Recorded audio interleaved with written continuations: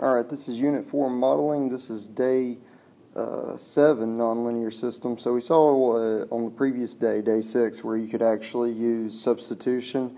These will be cases where you really probably want to use uh, elimination. While substitution could be used, it's a lot easier to use elimination on these. Uh, for instance, on this one, uh, right now the x's will actually eliminate if I add these two together. Um, if you like to, you could actually go ahead and rewrite them out here to the side. Oh, forgot the square on the x. So I rewrote the first one.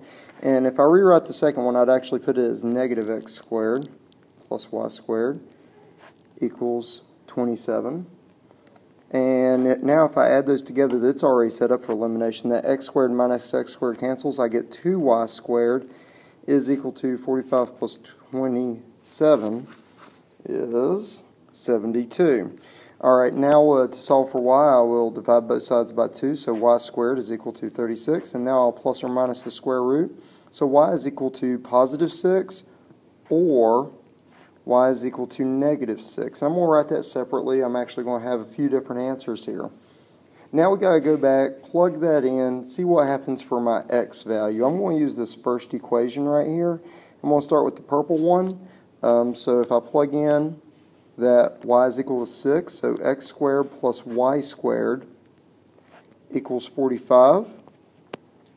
I'll have x squared plus 36 is equal to 45. Subtract the 36 from both sides, I get x squared equal to 9. So x is equal to positive or negative 3. And what this means is this coordinate of y equals 6, that resulted in two different answers for x. This represents two different points, that 3 6 is a coordinate, x equals 3, y equals 6, but also x equaled negative 3 when y equaled 6. So negative 3, 6 is a coordinate. Now I'm going to do the same process with the blue. Um, plugging in that to the same exact equation, x squared plus negative 6 squared equals 45. This is actually going to solve out the same, but it's good to show you the work that goes behind it in case it doesn't. So subtract the 36 from both sides and plus or minus the root, positive or negative 3. So again, another two points here. So x equals 3, y equals negative 6. Also, x equals negative 3, y equals negative 6. And you would want to actually go through the work to find these answers. So in this case, two quadratics resulted in four solutions. Not always the case. You could even have no solutions sometimes. All right, here's another example. On this one, what I would do is actually multiply maybe this first one by negative 1 and take it away from the uh, second one. So I'm going to do that really quick. So I'm just going to multiply both sides by negative 1 and rewrite it as negative x squared minus y squared equals negative 8. And now I'll add that with the second given equation. So x squared minus x squared cancels. Um, here we're going to get 3y squared minus y squared is 2y squared is equal to 10 plus negative 8 is 2. Divide both sides by 2 and I get y squared equal 1. So y is equal to positive or negative 1. And again, I'm going to actually uh, write that out as two separate answers, y equals 1. And over here I'm going to put or, y equals negative 1. And now I'm going to see what that gives me whenever I plug it back in. I think the easiest one to plug that into is the very first equation, x squared plus y squared equals 8. So, x squared plus y squared equals 8. Uh, x squared plus 1 equals 8. Just squared the 1 there, subtract the 1 over, so I get x squared equals 7. x is equal to positive or negative root 7. And that's irrational, that's fine though. So here's two of my coordinates. x equals positive root 7, comma, 1. So root 7, 1. And the other one is negative root 7, y equaled 1. Now I need to go over here to the blue one and actually figure out what x equals in those cases. So x squared plus y squared equals 8.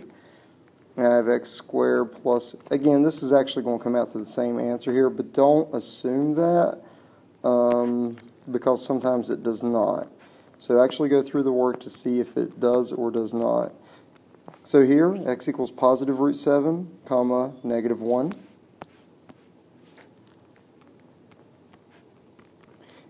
Negative root 7,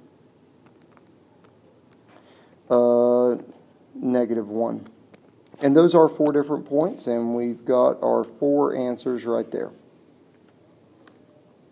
Uh, if you've got any questions on this, I know it's kind of intense, please let me know. Take a look over the homework. The homework will you do substitution and elimination as being the easier method. My advice is with um, with when you got a linear, use substitution. If you've got both quadratic, use elimination is my advice. All right, it's bonus time. Actually, I forgot about this example. This is actually the one I showed as example two in class, um, if you were there. But anyways, what's going on with this one is the only difference is, is that the y is not being squared on the second one, but it's still two quadratics. And I can actually get these to cancel if I multiply the uh, second one by negative 1. Uh, yet again, or the first one by negative 1, whichever you prefer. So that will become uh, negative x squared minus 3y equals negative 10. And the first one is still going to be x squared plus y squared equals 8. And when I add those two equations together, I'll now have the x squareds cancel and I'll have y squared minus 3y because those two cannot combine, and that's what I'm left with, equals negative 2. Um, so now what I would do is actually solve by factoring personally, um, is how I would go about this one. Uh, 2 and y minus 1 is how this factors. Excuse me on that. So when I do that, I'm going to get now my correct answers for this. And uh, I get that y equals 2 is one of my answers. y equals 1 is the other. Now I'm ready to actually move forward and uh, get my answers for x uh, using these. All right, so starting with the uh, y equals 2, so x squared plus 3y equals 10. I can actually get my answer for y now. x squared plus 6 equals 10. And so x squared will equal now 4 when I subtract the 6 away. And I can actually plus or minus the root there. So plus or minus 2 when I square root 4.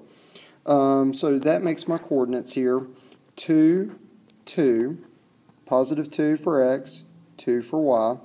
Also, negative 2 for x, and still positive 2 for y. Those are two of my answers. I can also get another two answers from the y equals 1. So using that same equation, x squared plus 3 times 1 equals 10. Um, so x squared plus 3 equals 10. And this is going to look similar to what we saw on example 2. Um, that will plus or minus the root of 7. And that's irrational.